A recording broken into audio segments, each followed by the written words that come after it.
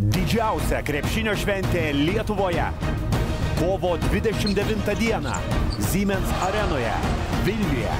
Pagrindinis šventės rėmėjas Orakulas.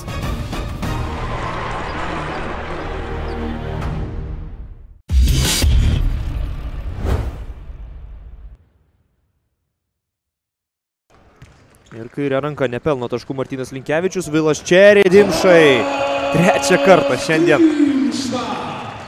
Tomas Dimša atsiduria štai tokių derinių smaigalyje.